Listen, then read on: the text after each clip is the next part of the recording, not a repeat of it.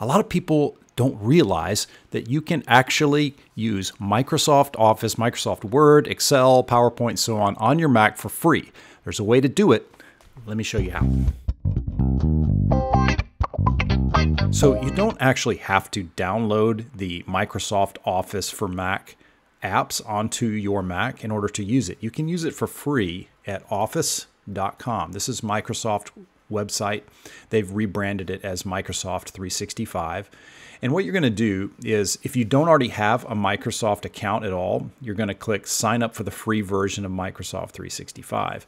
If you have an account with Microsoft, you can just click sign in up here in the corner. Um, and that will, will get you in if you've already got an account. But if you don't, go ahead and sign up for a free Microsoft account here and walk through that process. Once you do, uh, you can go up in the upper left hand corner, you'll see all these dots, whatever your screen looks like. You should see that if you're logged into Office, and then Microsoft 365. And then that's what that page looks like. So you've got every kind of option you might need here for very basic use. Uh, for example, a Word document, you could go over here to Word or just says create new and, and start out right here. And you've got a lot of the same functionalities, in fact, most of the same functionalities that you are going to have on the downloaded version that you pay for. There's a couple limitations. Uh, there's no spell check uh, or grammar check, um, things like that.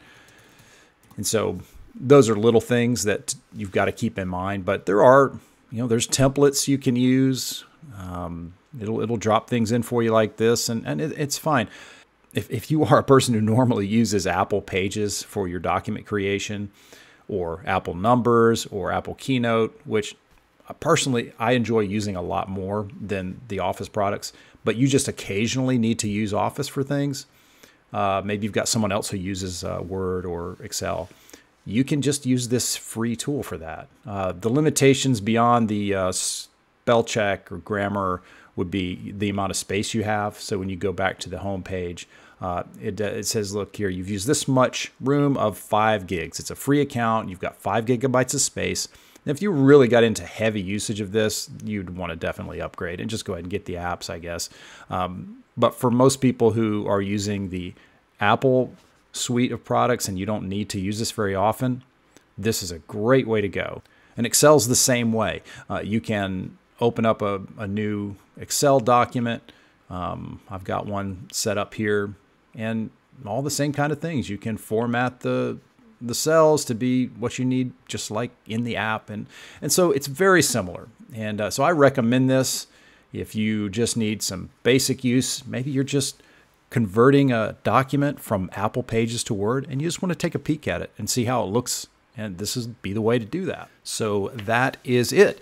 Now um, I've got another video I should link right here that shows you how to convert an Apple Pages document to Microsoft Word.